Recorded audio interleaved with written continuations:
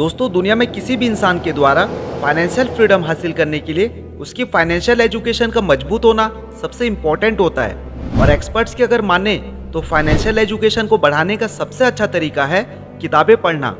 यही वजह है कि दुनिया में बहुत सी किताबें इसी टॉपिक के ऊपर लिखी जाती है। और अमेरिकन लेखक रॉबर्ट क्योसाकी के द्वारा लिखी गई रिच डैड पुअर डैड नाम की किताब भी दुनिया की उन्हीं किताबों में से एक है, जिसे बहुत से लोग लाइफ में अपने गोल अचीव करने और कामयाबी हासिल करने के लिए पढ़ते हैं। तभी तो फाइनेंशियल एजुकेशन के मामले में इसको दुनिया का सबसे फ़ेमस किताबों में शामिल किया जाता है। और आज के हमारे इस वीडियो में हम आपको इसी बुक की ही समरी बताने वाले हैं। दोस्तों रिच डैड पुअर डैड किताब की कहानी लेखक रॉबर्ट क्योसाकी की अपनी खुद की लाइफ स्टोरी पर आधारित है। इस किताब में वो अपने दो पिताओं के बारे में लिखते हैं, जिनमें एक उनके असली पिता हैं, जिन्हें उन्होंने पुअर डैड का टाइटल दिया है, और दूसरे उनके मुँह बोले पिता हैं। असल में उनके एक दोस्त के पिता हैं और उनको उन्होंने इस किताब में रिच डैड का टाइटल दिया है। दरअसल उनके असली पिता बहुत ही ज़्यादा पढ़े लिखे और हार्ड वर्किंग इंसान है, जो कि पेशे से एक टीचर होने के साथ ही फाइनेंशियल बहुत कमज़ोर है, इसलिए रॉबर्ट किताब में उन्हें पुअर डैड कहकर बुलाते हैं। वहीं दूसरी तरफ़ उनके मुँह बोले पिता सिर्फ़ आठवीं क्लास तक पढ़े हैं, लेकिन फाइनेंशियल एजुकेशन स्ट्रांग होने की वजह से वो अपने शहर के सबसे बड़े और सबसे अमीर बिजनेसमैन में शुमार किए जाते हैं। इसलिए रॉबर्ट किताब में उन्हें रिच डैड कहकर बुलाते हैं। इस पूरी कहानी में रॉबर्ट के रिच डैड उन्हें उनकी ज़िंदगी के अलग अलग पड़ाव पर 30 साल तक छह ऐसी अहम शिक्षाएँ देते हैं, जो कि लाइफ में कामयाबी हासिल करने, अमीर बनने और हमेशा अमीर बने रहने के लिए बहुत ही ज़रूरी होती है। और रॉबर्ट के रिच डैड के द्वारा बताए गए छह लेसन दुनिया के किसी भी इंसान को अमीर और कामयाब बना सकते हैं। फिर चाहे वो इंसान कितना ही कम पढ़ा लिखा क्यों ना हो। तो चलिए, अब हम रॉबर्ट के द्वारा लिखे गए उन्हीं छह इंपॉर्टेंट एंड मैजिकल लेसन के बारे में जानते हैं। Lesson number one rich don't work for money money work for them दोस्तों रॉबर्ट के रिच डैड बताते हैं कि दुनिया के ज़्यादातर लोग कई दशकों से एक विशेष तरह के सर्कल में फंसे हुए हैं और वो इस सर्कल को रैट रेस कहकर बुलाते हैं।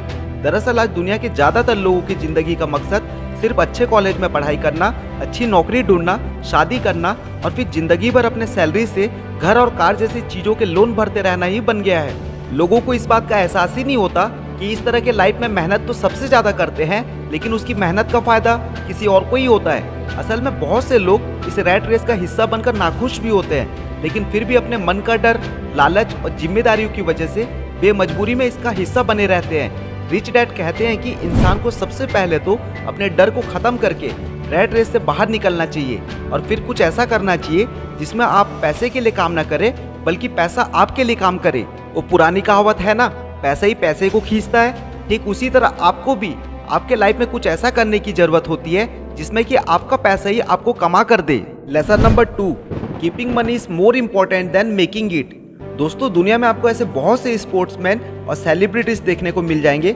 जो कि एक समय तो बहुत अमीर हुआ करते थे, लेकिन आज उनके पास कुछ भी नहीं है।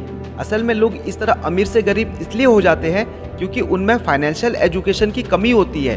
यानी उनके अंदर पैसे को मेंटेन और ग्रो करने का हुनर नहीं होता। रिच डैड इस फाइनेंशियल इलिटरेसी का एग्ज़ाम्पल देते हुए कहते हैं कि पूरी दुनिया में घर को एक एसेट्स माना जाता है, जबकि उनके अनुसार घर को एसेट्स नहीं, बल्कि एक लाइबिलिटीज होती है। क्योंकि एसेट तो वो होता है जो आपके पैसे को समय के साथ साथ और भी ज़्यादा बढ़ा कर देता है, जबकि घर के मामले में आपको कई साल तक उसकी ईएमआई और लोन चुकानी पड़ती है, जिसके चलते आपके जेब में पैसा आता नहीं बल्कि सिर्फ़ जाता है। यानी कि रिच डैड सिर्फ़ उन चीज़ों को एसेट्स मानते हैं, जो कि आपको घर बैठे बैठे पैसे कमा कर देती है। वो कहते हैं कि अमीर बनने के लिए सिर्फ़ पैसा कमाना ही काफ़ी नहीं होता, बल्कि पैसे को कमा कर उसे मेंटेन और ग्रो कैसे किया जाए, ये सीखना सबसे ज़्यादा इंपॉर्टेंट होता है। Lesson number three get in your business along with your job दोस्तों, दुनिया में जब किसी इंसान को उसकी पसंदीदा जॉब मिलती है तो पूरी ज़िंदगी उसी को करने का मन बना लेता है। और फिर बिना कुछ सोचे समझे अपनी पूरी लाइफ उसी जॉब को करने में बिता देता है। रिच डैड कहते हैं कि दुनिया का कोई भी इंसान अगर चाहे तो अपनी जॉब के साथ ही कोई दूसरा काम भी कर सकता है और बिना अपनी जॉब को छोड़े वो एक नए बिज़नेस एम्पायर का किंग बन सकता है। अब इस बात को समझने के लिए हम दुनिया की सबसे बड़ी फास्ट फ़ूड चैन मैकडोनल्ड्स के फाउंडर रे क्रॉक का एग्ज़ाम्पल ले लेते हैं। अगर हम में से किसी से भी ये सवाल पूछा जाए कि रे क्रॉक किस बिज़नेस से पैसे कमाते हैं तो हम में से सभी लोगों का यही जवाब होगा कि फास्ट फ़ूड बिज़नेस से। लेकिन असल में दोस्तों रे क्रॉक का मुख्य बिज़नेस फास्ट फ़ूड नहीं, बल्कि रियल इस्टेट है। क्योंकि मैकडोनल्ड्स के बिज़नेस को बड़ा करते करते वे आज पूरी दुनिया के अंदर सबसे बड़े रियल इस्टेट ऑनर बन चुके हैं। यानी कि फास्ट फ़ूड बिज़नेस करते करते ही उन्होंने रियल इस्टेट का एक ऐसा एम्पायर खड़ा कर दिया है, जो कि आज उन्हें सच में अमीर बनाता है। इसी तरह से एक आम आदमी भी अपनी जॉब को करने के साथ ही कुछ ऐसे एसेट्स और सोर्स ऑफ़ इनकम क्रिएट कर सकता है, जो कि उसे पैसे कमा कर भी दे। और दोस्तों, इसके लिए राइटर के द्वारा कुछ एग्ज़ाम्पल भी दिए गए हैं, जिनमें कि बिज़नेस शुरू करना स्टॉक मार्केट में इन्वेस्ट करना रियल इस्टेट में पैसा लगाना और मुनाफा देने वाली प्रॉपर्टीज़ को खरीदना शामिल है। इनमें से कोई भी एक तरीका अपनाकर आप अपने लिए एक नई सोर्स ऑफ़ इनकम बना सकते हैं। यहाँ तक कि रिच डैड तो हर एक व्यक्ति को ऐसा करने की सलाह देते हैं, क्योंकि ऐसा करने पर ही इंसान सच में अमीर बनता है। Lesson number four taxes are for only middle class and poors दोस्तों, इस लेसन में रिच डैड टैक्स की हिस्ट्री बताते हुए ये कहते हैं कि टैक्स असल में अमीर और गरीब के बीच मौजूद फ़र्क को खत्म करने के लिए बनाया गया एक सिस्टम था। यानी शुरुआत में सिर्फ़ अमीर लोगों पर ही टैक्स लगता था और फिर टैक्स के उन पैसों को गरीबों की सुविधाओं में खर्च किया जाता था।